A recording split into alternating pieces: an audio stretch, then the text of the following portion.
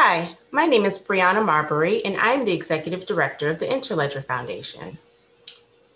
Today, we're going to talk about alternatives to online advertising, specifically web monetization. Before we jump into the details, let's talk about where the world is in regards to the creative economy. As I speak to you today, the online creative space is growing exponentially. And since the pandemic, even more people have moved to both creating and consuming a greater amount of content online. Here are a few statistics from the Policy Circle that show just how the digital economy is growing. With more creators from developing countries joining the ecosystem, the digital creative economy makes up 6% of the world's GDP with a large portion of the growth due to 15 to 29 year olds. Think Instagram and TikTok. However, the way these creators are getting paid for their work, and subsequently, the information consumers have to give up in order to consume content, is less than ideal. Now, we've all experienced going online to search for something, and then, like magic, there's that same something you search for showing up as an ad on the next platform or website you visit for the next month. And you're like, I really didn't have any intention of buying those socks with my dog's face on there. I just wanted to look at what it would look like online. But now you have to suffer through seeing these socks on every site and platform you go to because they're trying to entice you to buy them. But studies show that people are tired of invasive ads, which is the reason why one out of every four people use some form of an ad blocker now. Then there's the paywalls. I was just trying to read an article on a site that shall remain nameless and hit the whole message of, you've reached your article limit for the month. Frustrated, I rolled my eyes and exited off the site. In fact, that's what most people do as the conversion rate for paywalls is very low, ranging from 2 to 5%, depending on what study you're referencing. That's it. I guess something is better than nothing. And if you have a lot of traffic on your site, you may not be doing so bad, but 2 to 5%. The pandemic helped to boost these numbers a bit, but what's going to happen once people are able to move around freely and stop spending so much time indoors and consuming content that way.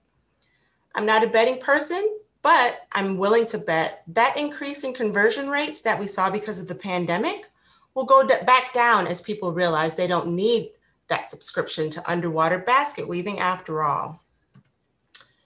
Here's a relatable example, at least for me, that is, Say, for instance, you're a blogger who painstakingly takes your time and effort to create a beautiful site about making cupcakes. Since I love to bake and experiment with your recipes, I thoroughly enjoy your website. However, in efforts to mitigate your cost, you start allowing ads on your site, which have been annoying your audience, mainly me. And as we talked before, lots of people are implementing ad blockers. Since that's not exactly producing the revenue you were hoping for, you decide to go a step further and implement a paywall to encourage people to subscribe to your site. And again, the conversion rate is very small. So when I run into this, while I don't mind supporting you in your ability to continue making creative and innovative recipes, I draw the line at paywalls and decide to say, forget it and find another person that's making recipes that I like. If this way of monetizing work online is so bothersome to a large portion of people, why is this still the pervasive model that persists today? As you can see here, these are just some of the downsides of the web's current business model. And you may think, aside from your monthly internet bill, surfing the web is supposed to be free, right? Well, no. Actually, when the internet was created, it was always intended for payments to be a native part of the infrastructure. It was just a functionality that wasn't utilized until now. And the way the business model of the web is currently, you're paying with your data and your privacy. And your data and your privacy is big business. 70% of advertising dollars go to three of the largest platforms because they're able to collect a ridiculous amount of data on you, which they then sell to organizations who get insight into your spending habits. so they can know exactly how to target you and what you're likely to buy. Meanwhile, the majority of creators are not earning a meaningful wage for their creative works. But we won't go deeper into that today. What we will talk about is a solution. What if there was a way for creators to get paid without having to implement ads, paywalls, respect their users' privacy, and create a seamless user experience for consumers? Well, there is. One way to start to break down this big behemoth of a machine that has been dominating the online payment space for almost 20 years is through web monetization. Web monetization is a proposed W3C standard that's built on the Interledger protocol, which is an open source payments network, meaning anyone has access to the code and can build on it. One of the coolest features of the protocol, in my opinion, is that it has the ability to move very small packets of currency across the web, which can be as small as a fraction of a cent. These small packets, known as micropayments, are able to be continuously streamed from one person or entity's account to another. And it's all done seamlessly behind the scenes, so there's no interruption in user experience. Instead of running into paywalls and clicking off of pop-ups to actually get to the content you're trying to view, you get direct access. Easy and simple, right? To see how this works in the real world, let's go back to the example of where you're a cupcake blogger. If your site was web monetized instead of having ads and a paywall, I would be able to seamlessly peruse all the cupcakes recipes my heart desires while still supporting you in your efforts to spread joy by way of sugary goodness. And every second I spend on your site, you're getting micropayments streamed to your account. And the more traffic there is to the site, which you have traffic because I've told all of my friends about your recipes, the micropayments get streamed to you. It's a win win for everybody. With the revenue you earn, you have the ability and means to experiment with new and fun flavors like ube, which, by the way, I just made not too long ago. And if you haven't tried it yet, you should try it. It's delicious.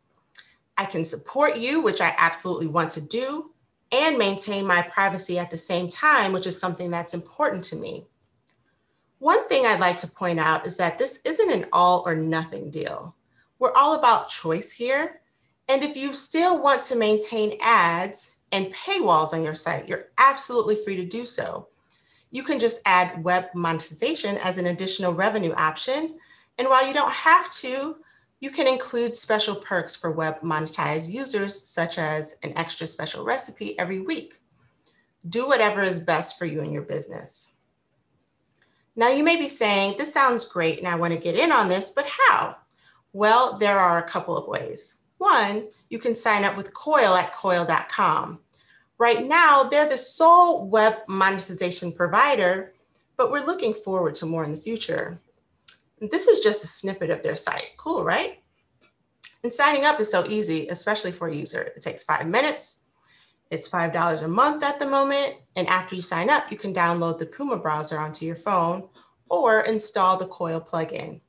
Then just enjoy your seamless browsing experience from there simple and sweet.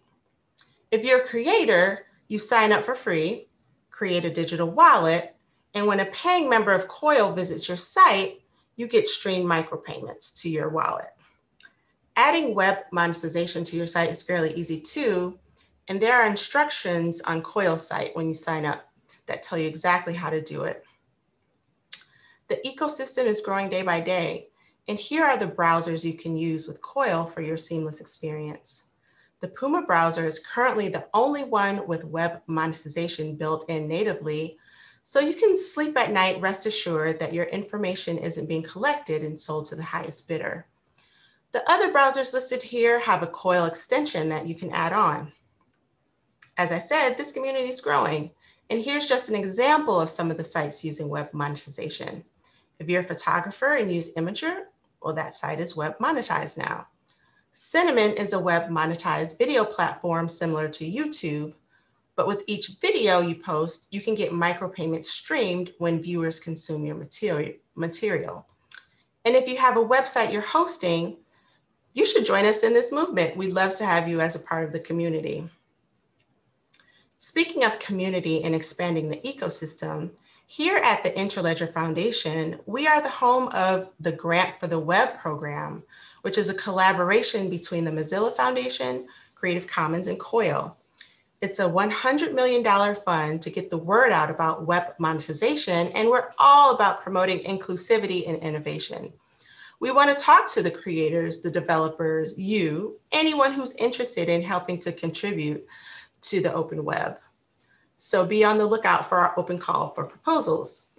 And we're always all ears if you have an amazing idea as well that you just want to share with us. And if you're like, but we want more ways to get involved, we got you.